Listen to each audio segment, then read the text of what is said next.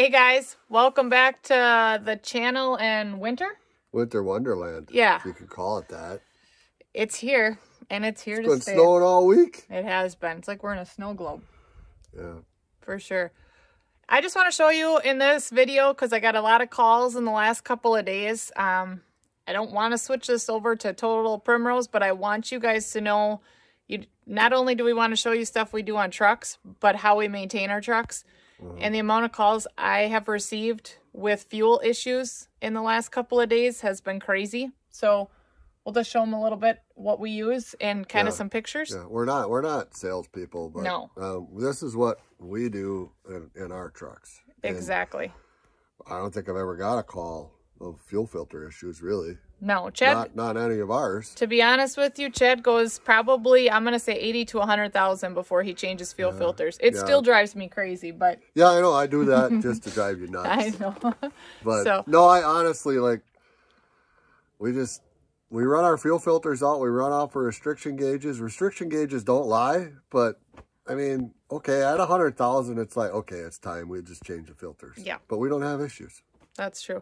All right. Well, we're going to go inside where it's a little bit warmer, show you this primrose stuff, show you what people are calling on, and maybe we can just help you out with this in the future. All right. Let's do it. What do we All got right. going on here? See these filters? Can you see that?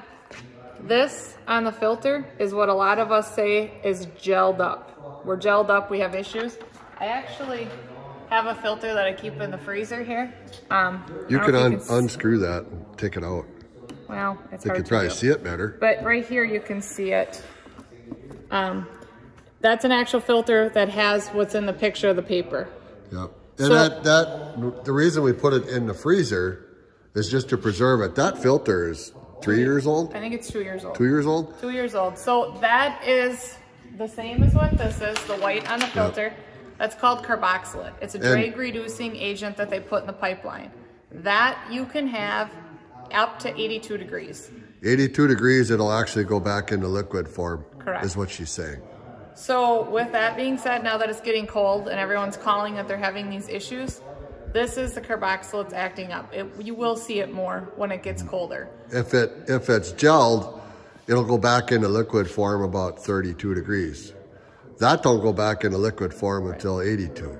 So it's not gelling, that's carboxylates. It's that's carboxylates. what she's trying this to is 90 some percent of what we're going to see for an issue. Will you see an actual froze up fuel?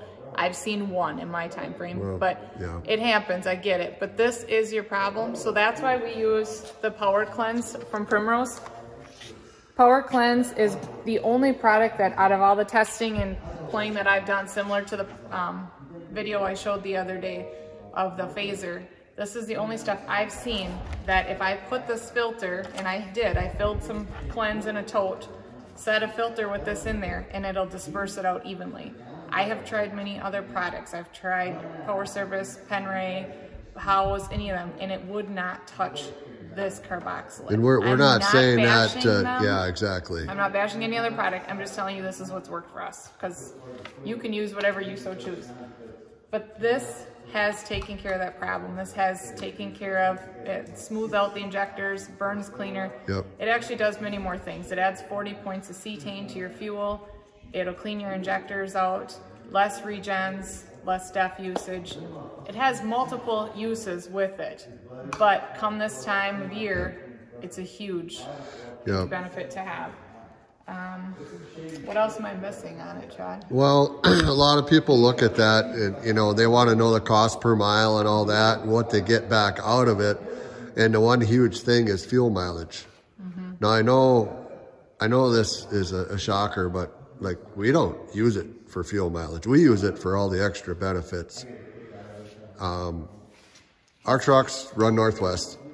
We don't want fuel issues, and we don't have fuel issues. Our new purple truck doesn't even have fuel heaters on it. It, doesn't bother me whatsoever. Which reminds me when you say that too, we, like you said, we run Northwest. This is their summer blend product. They do have a winter product too, but if you're getting a winter blended fuel at the pump, it's already treated. So Yeah. we use this every fill up that we get fuel Year round. year round, and Year we round. have not had issues. We have ran this. We have trucks running out to Oregon, Washington, through the Dakotas. We just don't have issues. Mm-hmm. But So- if you think about it, we run year round. We're being proactive. Yeah. We don't. We don't.